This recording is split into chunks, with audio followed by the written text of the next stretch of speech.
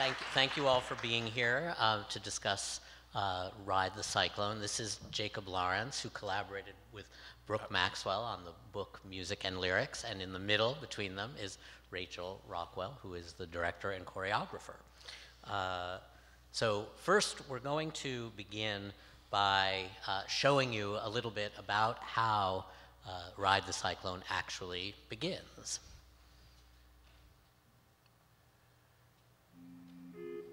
Tonight, I shall speak of six teenagers whose tales ended abruptly on a roller coaster in a small, dying town in the middle of nowhere. The former St. Cassian Chamber Choir, who on Monday, September 14th, 2009, would board the Cyclone roller coaster at 8:17 p.m. At 8:18, this same roller coaster's front axle would break, causing it to derail at the apex of the loop-de-loop, hurtling the children to their deaths.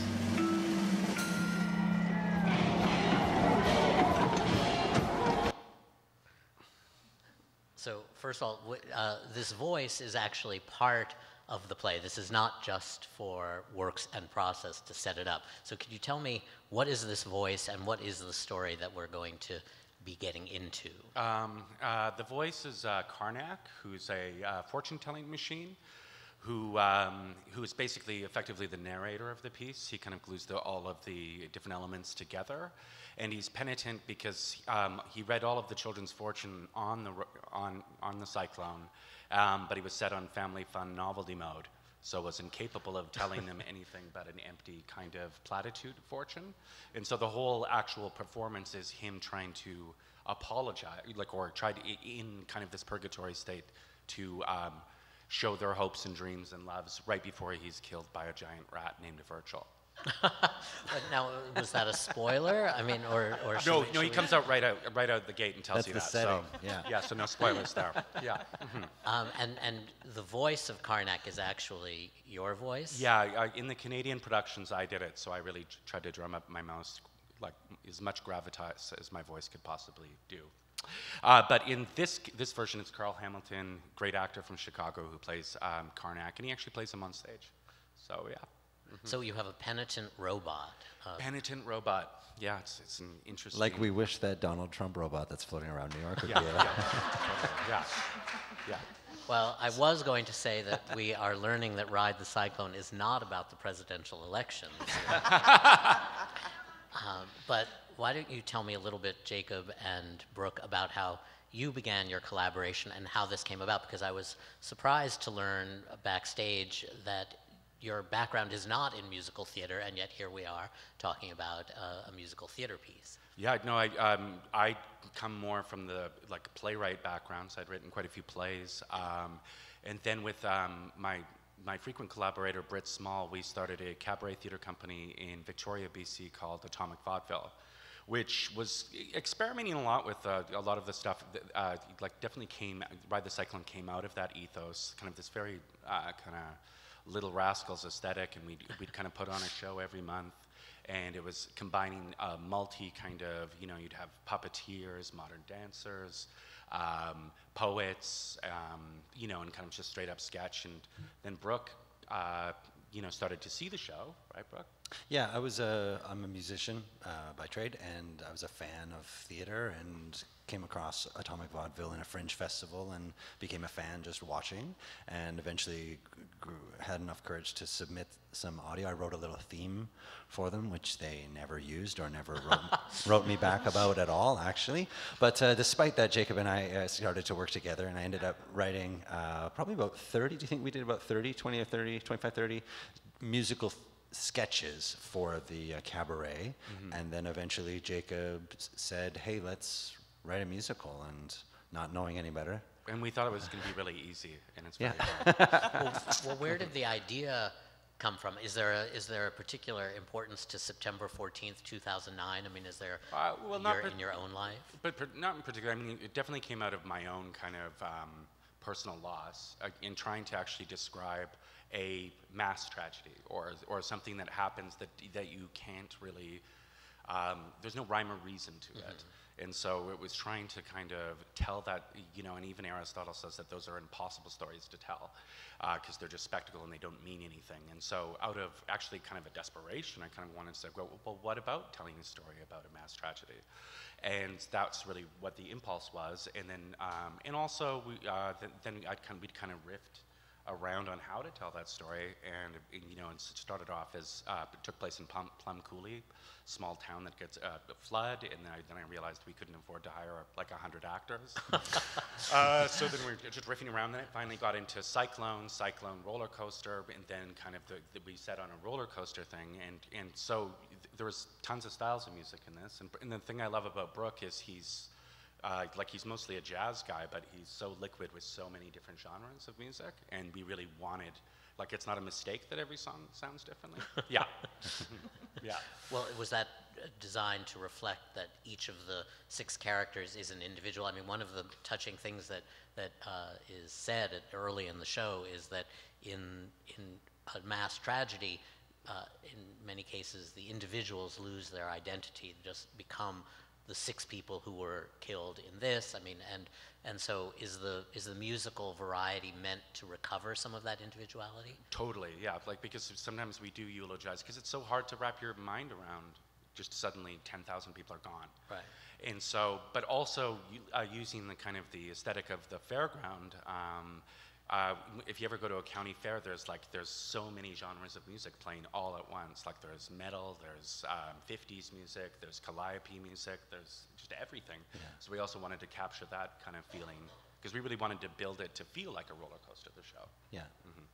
And also to reflect the music that we love like we're definitely coming from a place of music lovers. I do remember Jacob made it made a CD for me early on just to listen to to get some of the sounds of what he was excited about, and then I brought my own interests obviously as well. You mean another the, the kind of music that you wanted to to use to create yeah, the characters? That, totally that spoke to palette. us and made us yeah. feel things and that sort of stuff. And obviously, I mean, for, for me, I've, I've grown up, I, I, was jazz trained, but the, the Beatles were the music that really, really spoke to me.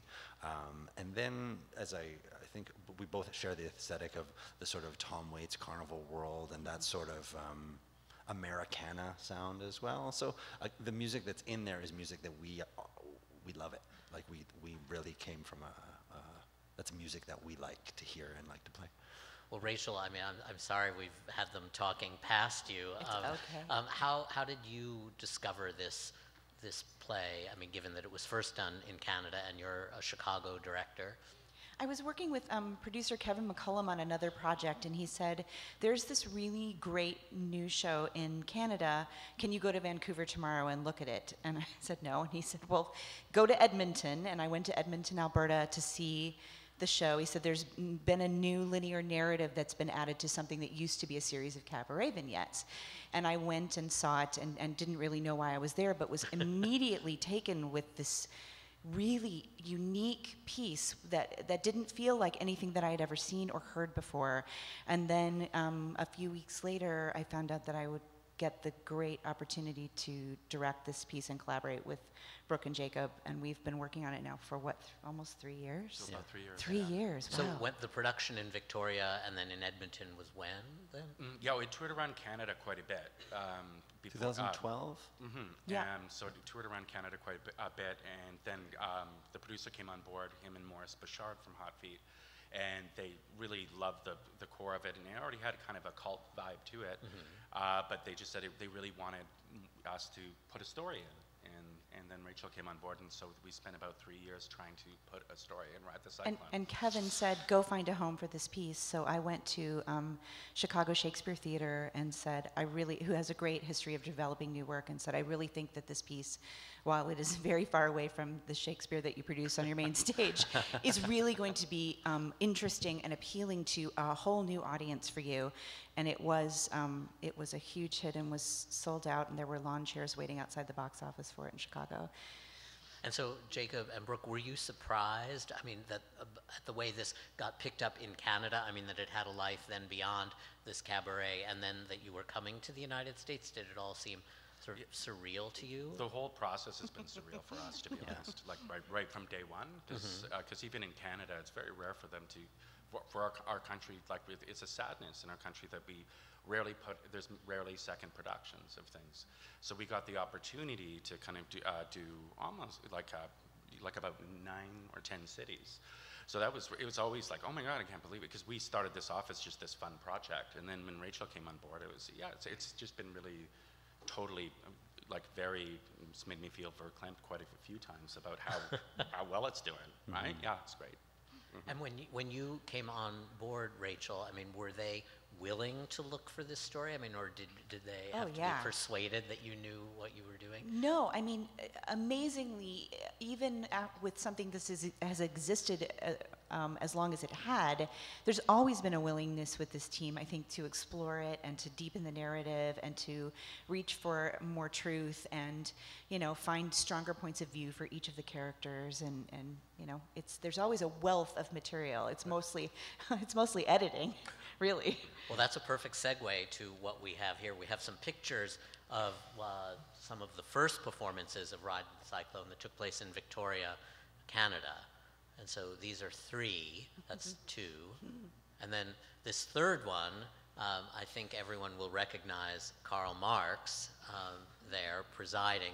And I'm told that, that Karl Marx has been edited out of the piece. He I didn't and- make it. He got cut. no i didn't make the and, cut. and I wondered if it was too too dangerous to bring across the border. Um, i'm not sure uh, no I, I think the thing was because ocean now that uh, that character right there uh, uh, uh, she like when we did add the storyline or the through line became for all intents and purposes the closest thing we have to a protagonist with the largest arc in the show and so rachel told us her story should really her song should really set up uh, the story and so then we went away and kind of we came up with this whole bit with karl marx having a pillow fight with taylor swift and, and Wait, uh, and that's not in the show yeah, anymore. Yeah, she went, she went, no, I wanted it to be the most straight ahead number, guys, right? You know, and so Karl Marx just slowly, he'd been in so many of the productions. In this one, he's, uh, yeah, uh, he, uh, th- but eventually we just had to lose him. But a little Taylor Swift remains. A Yeah, little. well, There's, there's uh, definitely yes, we Not were- i- i- yeah, in Taylor style Swift. only. Well, and I think just to recollect, I think this this picture up here, what the the song was. We thought it would be funny if Karl Marx was singing a gospel tune.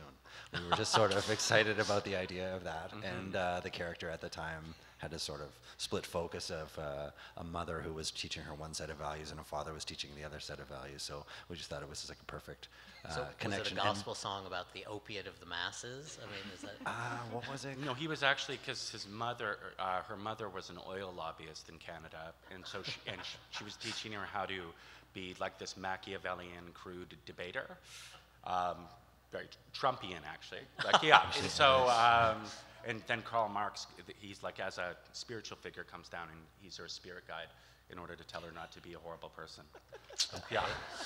And so we, that's where we started. And then when we were working with Rachel, we wanted to, we, we, that, that got big laughs in Canada. That was pretty, it was a very successful part of the show, but we realized we needed to change the character to fill the story arc. So we were was trying to funny. It was salvage, really funny. trying to salvage the Karl Marx. And then we said, what if we put Taylor Swift is the other spirit guide for our, our, our lead character?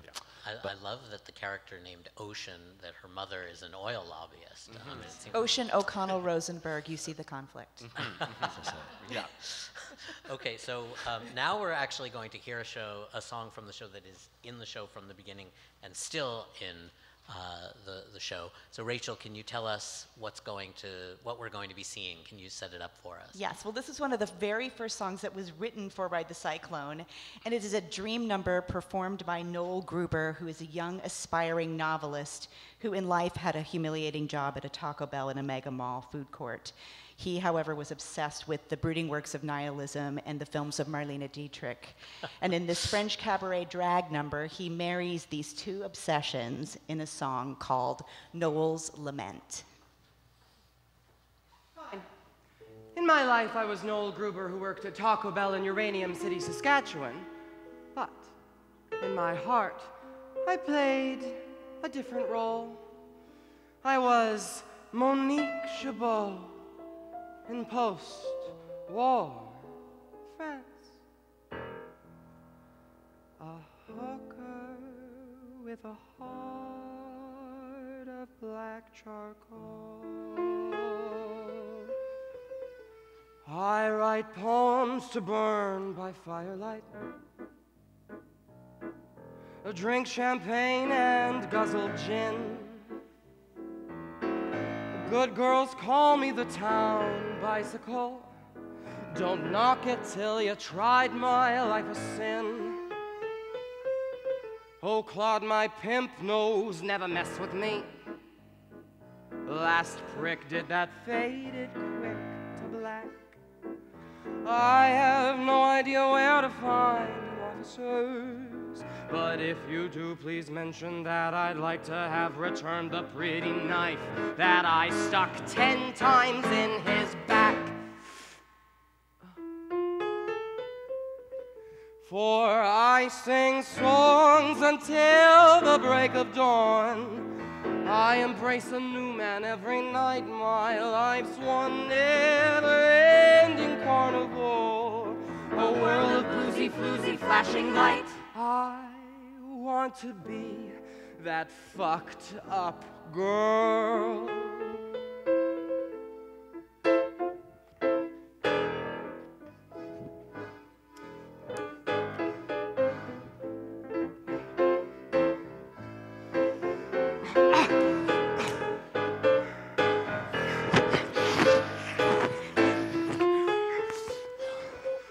Said, I think I am in love with you.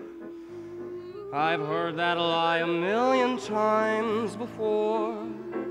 Oh, tonight I give in to the fantasy. Take love when you can, when you're a whore. Surprise, I end up with his bloody kid. She cries and cries and cries, it leaves me numb. The gypsies offer me a pretty price. No doubt now she's whore, just like her mom. Mama For I sing songs until the break of dawn. I embrace a new man every night. My life's one never-ending carnival. A world of boozy, floozy, flashing lights. I want to be that fucked up girl.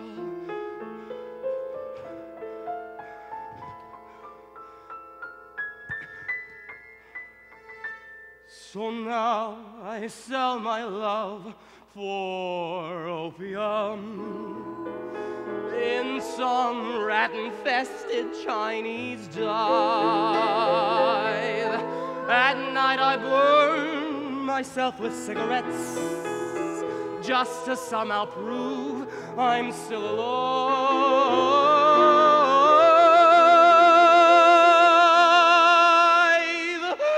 Eight months later, I catch typhoid flu. Kicked out, I see the ugly light of day. Dying in an alley, a priest kneels down to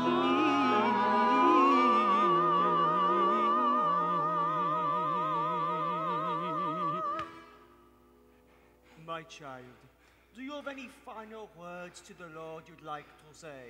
We tell him that, like him, I choose to burn out rather than fade away. Mon Dieu! For I sing songs until the break of dawn. I embrace a new man every night. My life's one never-ending carnival. A world of boozy, floozy, flashing light. For I sing songs until the break of dawn. I embrace a new man every night. My life's one never-ending carnival. A world of boozy, floozy, flashing light. I want to be that fucked up girl. I want to be that fucked up girl. Girl. If I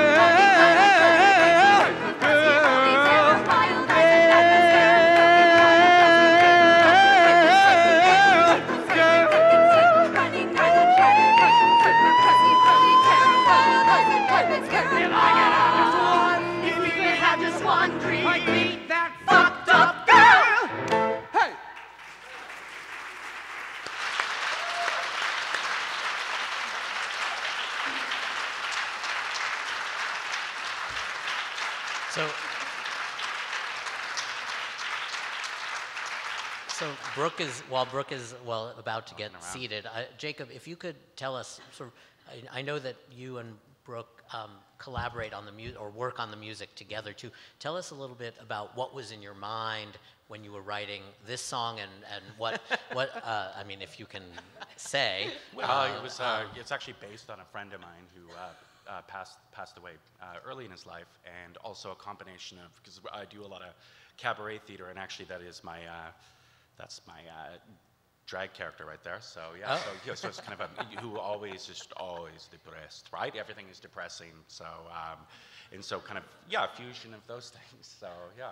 So, so that actually speaks to a line um, also in, in the in the play uh, about I think it's Karnak who says, "Do you want to see the future that might have been?" I mean, so in a certain way, that number is really the future that might have been for that friend of yours who passed away. Oh, totally. Well, or just that kind of. I mean, we also wanted to play with the idea of having a catharsis and kind of, and as opposed to it being kind of like certainly with him, he wanted to suffer. He wanted to be a, a novelist. He wanted to be Jean-Paul Sartre. He wanted to.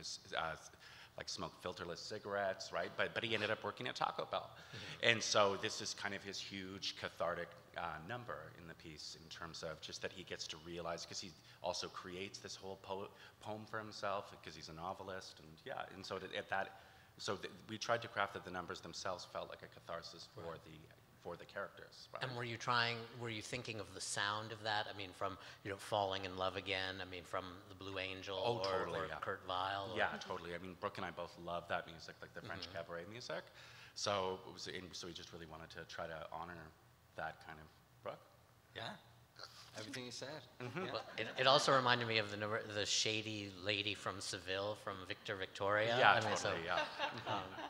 Uh, So Rachel, this is a number that's been in it from the beginning. Yeah. Um, and uh, what was different about this number in particular in Chicago from what you had seen in Canada? And then, if you can look a little ahead, what what was what we saw? Was what we saw more like what it was in Chicago, or what maybe it will be like at MCC? No, it's very similar. I mean, it's been he, uh, Kholby Wardell has played this character. He, he's the only actor who has ever played this character. So he's been carefully crafting this for years. And it, you know, it's you, you don't want to get in the way of a masterpiece. You just want to enhance what's there. But there are a lot of um, uh, elements in, in the production, um, film elements in particular, where we put him on the streets of Paris in a in his own kind of um, you know French New Wave cinema fantasy. So there are there are lots of really interesting technical elements um, to back it up. And Elliot uh, Elliot, uh, who played um, Ricky Potts originally played uh, the piano for piano, this, yeah. played the piano for this, and the yes, and now Alex in our company is, has recently learned to play the accordion for Oh, this amazing. was- Yeah, yeah. And so tell me then, I mean, when you're working as a director with a performer who's done something like this, as you say, it's a masterpiece, he's done it, he's the only actor who's played it. What is your role, and then how do you look at what he's doing differently from maybe the other people who are also performing in the in the play?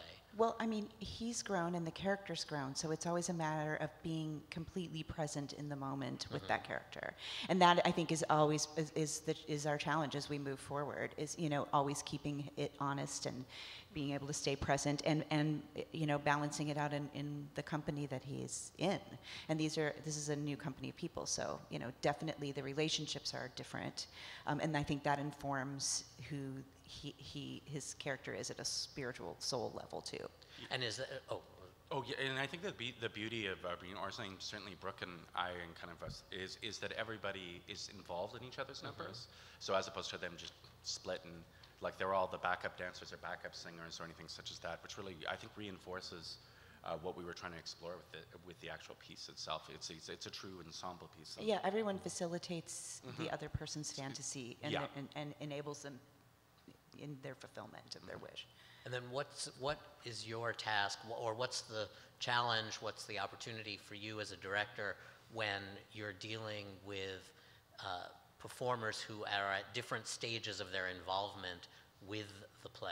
Well, uh, getting everybody in the same piece is definitely the goal, you know, um, and, and forming, for us, it's always forming a true ensemble because this is in ev- every sense of the word an ensemble piece. So it is, um, you know, laying the groundwork for uh, the relationships that we have in the rehearsal room to you know carry us through these very complicated relationships that we have in high school before you you have decided what which of yourselves is going to be your best self. You know when you're in search of of things and all of the mistakes that you make if we all think back on our own high school experience I, I know i certainly would like to go back and go i'm sorry i wasn't really i wasn't fully who i am now and you know i was insensitive or i was you know so but we get to see we get to see them at their worst and so it's you know for me it's it's setting a rehearsal room where people are willing to be extraordinarily brave to dig deep into those kind of vulnerable ugly um, interesting parts of themselves and do you find brooke and jacob i mean that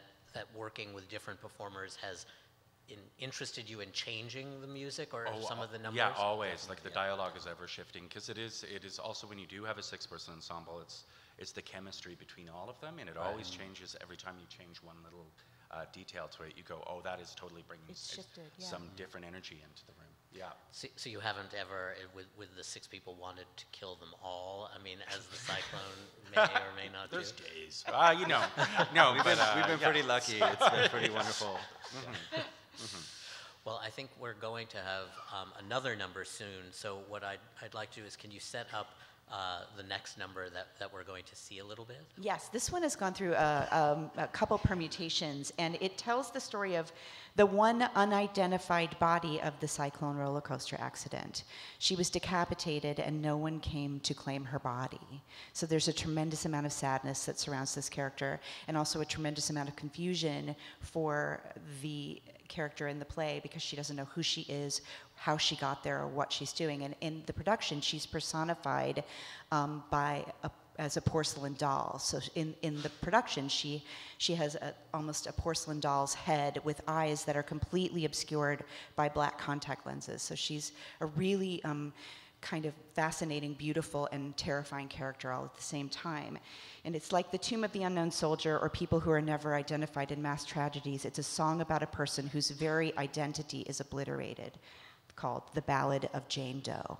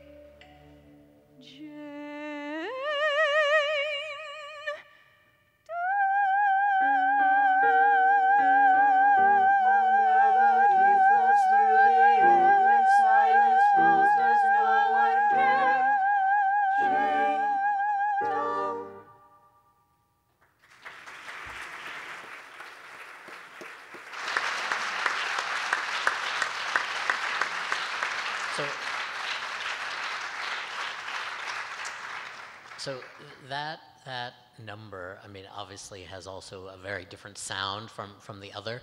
Uh, and if you could talk a little bit, I mean, among the three of you, I mean, about the ways in which different genres of music. I mean, not this. This is not what it's almost operatic. I mean, in in a lot of ways, how those came together for you in Canada, and then now in presenting it in the United States, in Chicago first. What what were the different theatrical requirements, and then what were the different theatrical responses? I mean, to, from the audience and critics. Well, I, I- initially the idea was to depict um, somebody who was obliterated by it. Um, and certainly when, what we hear about, like just where they just no, were completely forgotten, or when you cross the tomb of the unknown soldier, that was just kind of something I found so uh, moving and hard to dramatize, of course, naturally.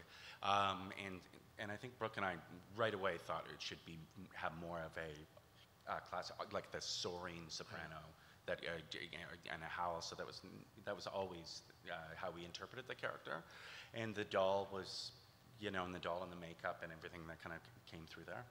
Yeah, Brooke? And and is that doll the same doll? I mean, is there a link somehow with the doll from the song "The Fucked Up Girl," who is al- yeah. he's, he's oh also yeah, yeah, yeah. They use they use that prop throughout the show. So Okay. it's like yeah, it's, it's, it all takes place in a kind of one place, one time. Uh, so it's all taking place in real time. So they are picking up things that are uh, falling on the stage. So, and just, just to clarify, so the, the setting is of the fortune telling machine that's brought the, f- the kids back to life, and they're, they're not all freaky zombie kids. Uh, they're just like nor- normal looking kids, except the Jane Doe character who presents herself with black, blackout eyes, contact lenses. So all the kids in this other world are also freaked out of the Jane Doe character as well. Well, they don't know who she is. They, They don't, don't they know don't know what how she she's connected to them, and no one, no one has any information about who, who she is or why she's there, which I think lends it's it's filled with pathos and, and you know that horrible feeling of, of not knowing and not belonging and not being important to anyone or anything. And also a beautiful uh, comedic just juxtaposition of the sort of the kids who are freaked out, but also feeling a sense of this poor being who's walking around with their dolly offering. Can I say the line? Yeah, sure. She says, "Would you like to brush my dolly's hair?" But She's the doll doesn't song. have a head. Uh, anyways, so it, so it's that the kids are kind of freaked out, but also in, uh, feeling the compassion with her as well. I mean, it's it's it's very touching to think, uh, and I mean, upsetting to think of uh, a, the group of people who would have been on this roller coaster and the randomness. I mean, if you, when you get on a ride like this, I mean, the, the people around you, you may be with you know a few friends, but then dozens of other people you don't know. But then you're when there's a, a crash or an accident, then you're all united, even though you didn't know one another yeah, beforehand. uni- unified in in kind of, and I think that that's one of the themes which we're trying to explore in it is they are unified in this horrible tragedy, but also for us not to remember um, people we lose through only that event. Mm-hmm. You know that that that is only an aspect of their their personalities. Yeah. Well, that's, that's one thing I meant with my question about the different reactions in, in Canada or in the United States, um, because this is an accident. I mean, there may be someone asleep at the switch, but you know that's not what we're hearing about. I mean, I'm just thinking of all the mass shootings that have happened in the United States for so so the political uh, aim or the political uh, uh, you know sort of the penumbra of the political that is that different in Canada uh, from what it would be in in the United States when people are thinking of mass accidents I mean it's more mass shootings that have Yeah. been in the news so much now Well, and that's certainly some, even from my own experience of coming from a family of gun violence. That's um, s- certainly in our ether. But I feel felt like we wanted it to be respectful of it, but at the same time be really funny, right? You know, in terms of so, but but to be funny in the in, in the most respectful way possible. But Right. like how any human being is is is got a sense of humor as opposed to it being something so something cathartic. But we that's why we intentionally made it allegorical, not specific to something, because that's that I would find that disrespectful on it to a certain extent, unless you totally had 100 percent Right. permission. But I felt like this is we were trying to uh, intentionally make it more of an allegorical setting. So, but I, I certainly see in the states, yeah, with the mass shootings, but but this one is more specifically around how, how a lot of us go through life. We sometimes we lose people because of a blood clot, or you know what I mean. And we have a hard time wrapping our heads around that. And so that's that that's that was my sincere desire or my impulse to write the piece. And I think a lot of the comedy comes from the fact that these six people would never choose to be in purgatory together. I mean, you No. take you take the most disparate types from any high school and put them and say you're going to spend your eternity together, and they have some serious issues to work out. And that's where I think a lot of the tension and the humor comes from. You know, as they all strive to you know self-actualize. Yeah, yeah, and have that moment. Mhm.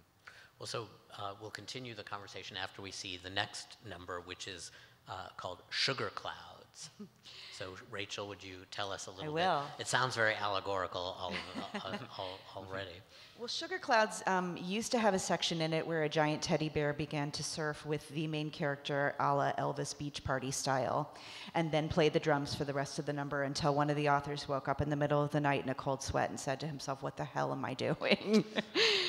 now it tells the story of Constance Blackwood, known to her classmates as the nicest girl in town. Um, we're going to do an excerpt of her monologue from the end of the play, and uh, which was the first thing that was ever written for Ride the Cyclone, and her song Sugar Clouds.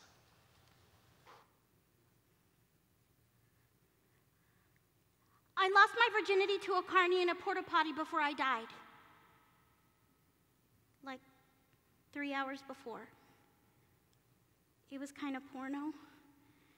He was like ancient, like 32, and he had a tattoo on his forearm. It was of two skeletons having sex, and it said born to bone on the bottom of it. Isn't my tattoo the stupidest thing you've ever seen? I fake laughed when he said that because you should always laugh at guys' jokes, or they'll think you're a cow. My mom and dad own the Blackwood Cafe in town. It's been in my family since like forever. The Blackwoods have been in uranium since they opened the mines. My family had pride when it came to that. Till I went to high school. And having pride about our town was only like the lamest thing you could think to believe. After a while, I started feeling kind of crummy about stuff, like ashamed. At the cafe, I would catch myself looking at my mom and thinking, what a loser. A stupid, dead end loser in a stupid, dead end town. My parents were good people. And all I could do was think these horrible things about them. I really wish I'd never thought those things. I got so angry that I was born in the only family in uranium that raised their kids to think it was okay to do your working, living, and dying there. And I just got all kinds of poison after that. Anyway, my virginity. I just wanted to get it out of the way. I just wanted to do it so that I didn't have to think about doing it anymore. No. I just wanted to lose it in the most horrible possible way. Constance, the lifer, lost it to a carny in a crap box in a crappy town. Why, of course she did. And then I rode the cyclone with the other kids in the choir. And that's when the accident happened. We were at the top of the loop when the roller coaster made this kind of screaming metal sound. Sparks were shooting all over the place, and then the screaming and the sparks just stopped. And there was this like weightlessness. My heart jumped a gazillion beats a second, but I didn't scream like the other kids, no. I was just soaking it all in. Because on a certain level, it was so rad. Sailing through the air upside down, you could see all the other rides, and it was like something unlocked in me. My heart welled up with all this love for everything. Images and feeling flooded into me like like getting back into my bed in the morning and feeling the heat left over from my body. Hanging upside down from the monkey bars until my head starts to tingle. Smelling Jiffy markers. Putting glue on your fingers and chewing it off. Listening to music and dancing around my room before I go out to a party and pretending I'm going to have a perfect time licking French toast off, French, uh, licking maple syrup off French toast Sunday morning, finishing an essay, undoing a knot, pizza night, Halloween, watching my baby brother dance naked to ABBA, blowing on a window and drawing a little picture, being in the choir at the height of the Hallelujah chorus and feeling the voices rattling my bones. I started laughing like a crazy person, giddy with endorphins. It was all dancing leprechauns and rainbows and unicorns, streams of chocolate, whirling rides, flashing lights. There's no shame in loving my small town.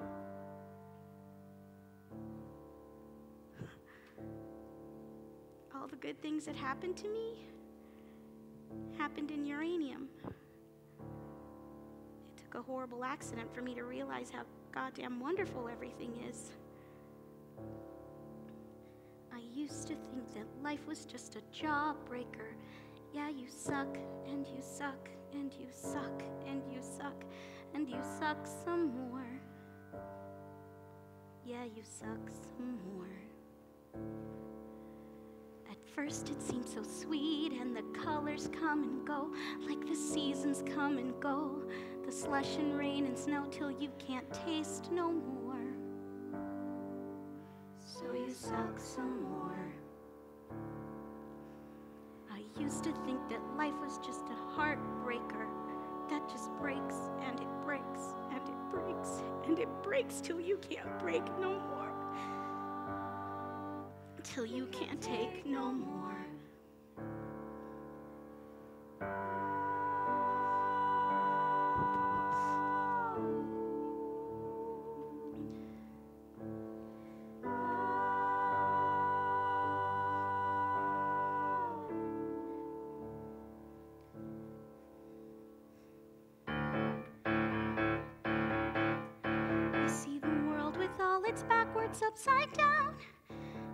Nothing wrong with being the nicest girl in town. Oh, everything's clear now that I'm here on my sugar cloud. Oh, my soul, it sings a song so sweet and pure. I felt it all along, but now I'm sure. Oh, everything's love looking down from above on my sugar cloud.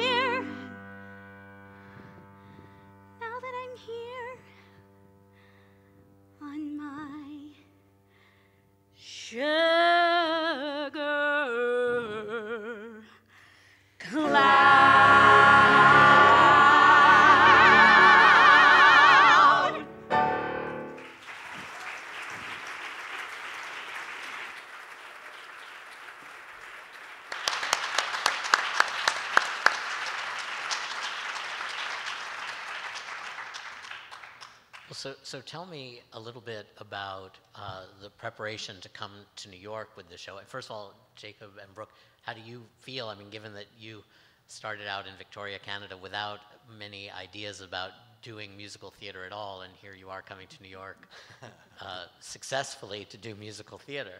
Super surreal, actually. Yeah, yeah, I feel like I'm in a musical. While yeah, like- yeah. So yeah, yeah, that typical musical. You're right. Oh, it's New York, right? It's, it's pretty amazing. Yeah. Yeah, Mhm. absolutely amazing. Sort Yeah. of 42nd Street Yeah, and 42nd fame all, Street, all yeah. together. Mhm, Yeah, yeah. It's, it's, it's been uh, like yeah, it's been fantastic. I mean, in terms of also, you know, doing it in Chicago was kind of a dream come true, and now it's just keep, it's amazing. Yeah, every, every, everything has been like a step along the way. We started in that Ukrainian church basement, just fooling around, rehearsing with uh, some local, great, great local talents, and we trying songs. And hey, does this work? And I'm learning how to harmonize. As oh, let's try this harmony because that one obviously didn't work. Going through that process to get an opportunity to play it locally, and then get an opportunity to play it in Vancouver, the big city across the water for us, and then get an opportunity to try it in Toronto. I mean, each one of those things has been like wow, this is crazy. And, and again, we've been so fortunate. It's just uh, knocking wood here, of course, but uh, the things that have sort of happened to, to us and to the show and the connections and people we've had opportunities to work with, bumping it up every step of the way. So. And have you felt any particular trepidation about bringing it to the town where the real cyclone is? I mean, in, in Brooklyn? Yeah, no. Uh, I mean, initially, because like there are like actually seven or eight cyclones, but maybe some people from. I don't think so.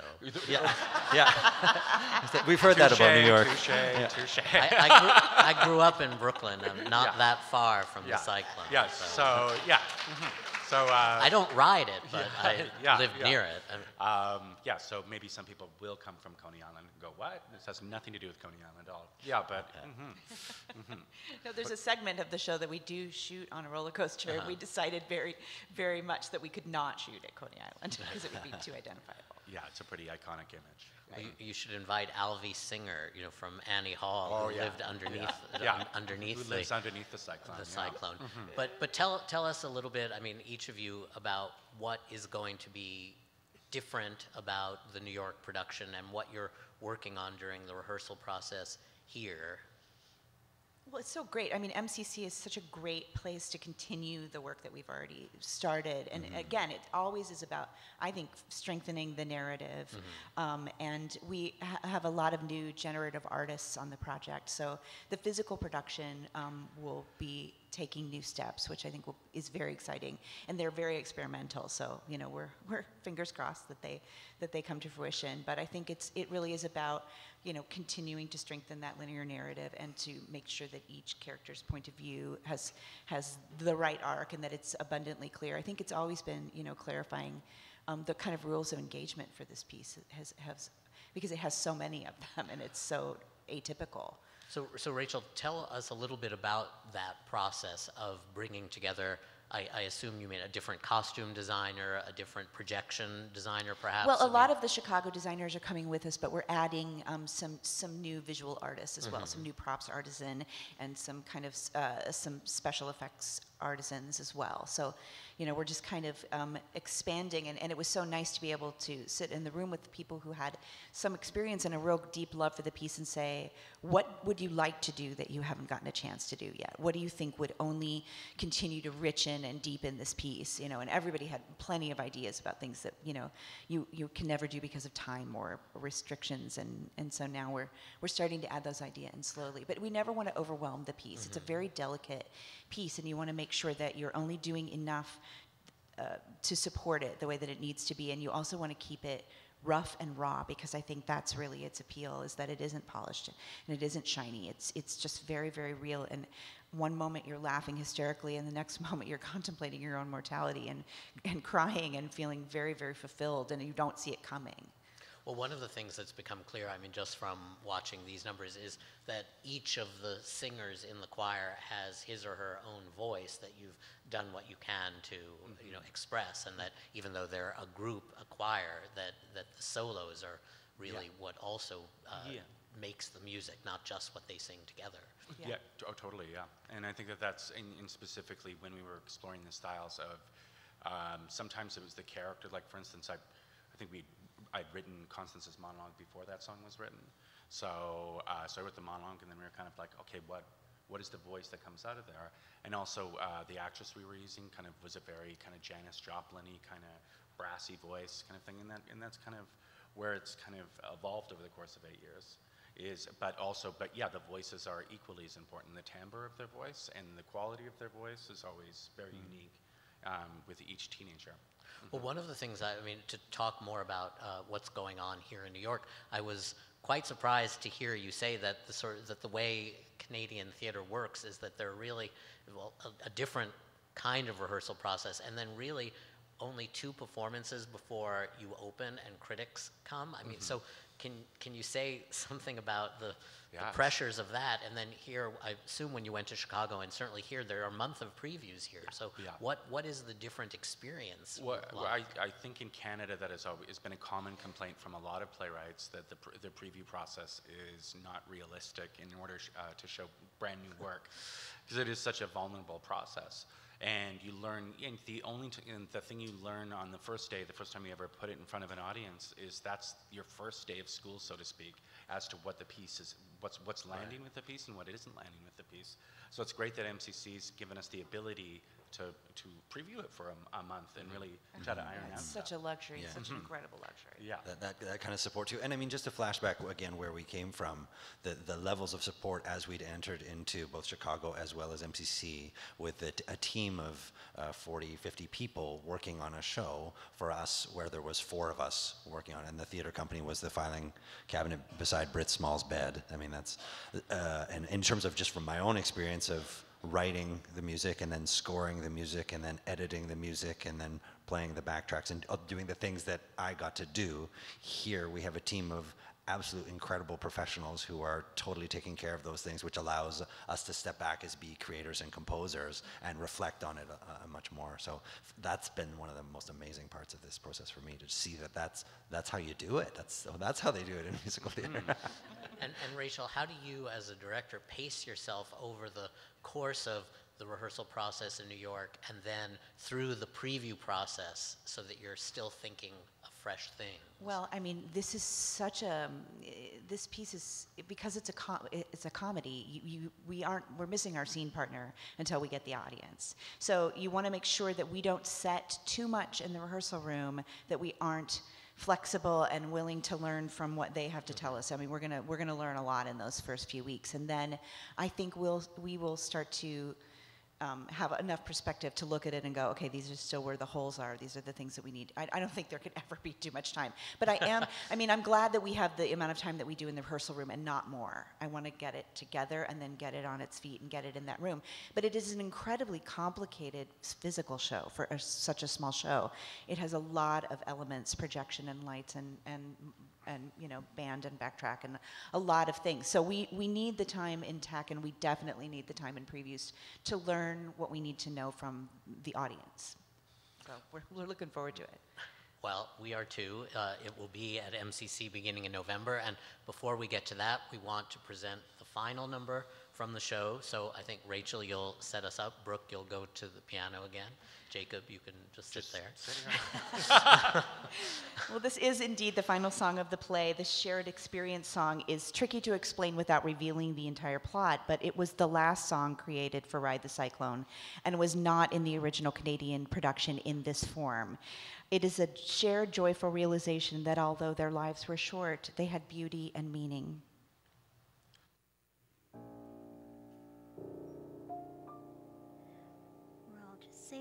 Space. There's no up or down. So beautiful and strange. But it's more than spinning round. Yes, it's everything you loved.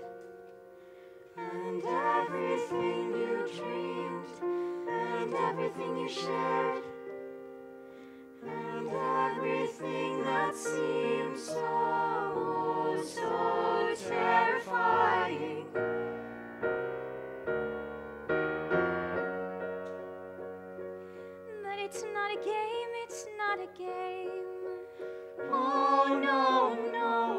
it's not a game, it's not a game.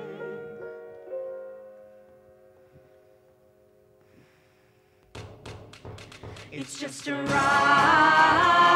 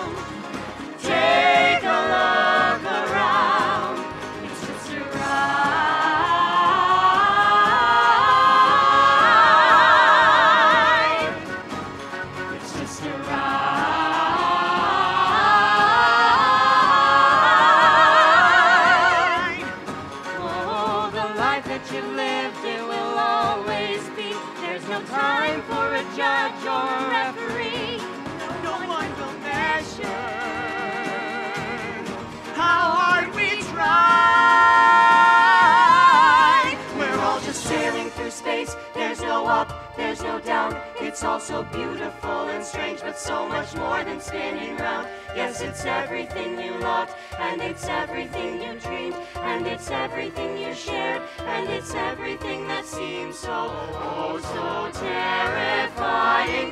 Turn it around.